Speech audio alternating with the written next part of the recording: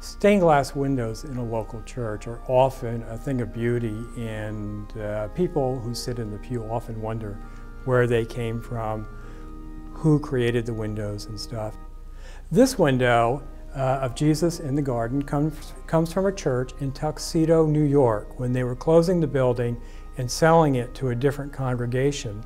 And we were so surprised when it showed up what a beautiful Tiffany window. Of course, we know that Tiffany and Company in New York was very instrumental in making church windows. And what I want to show you today is how you can tell if it's a Tiffany window or if it's a Tiffany-like window. Now, how do you know that it might be Tiffany?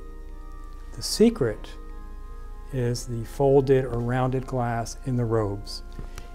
If you have a three-dimensional robe in your window, and if it's of the proper time period, there's a good chance that you have a Tiffany window.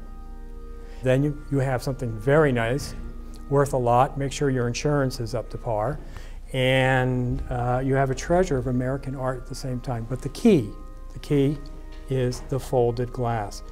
Tiffany starts it uh, as an art form uh, for churches and stuff, and then it becomes in vogue later on as well. Be proud of what you have.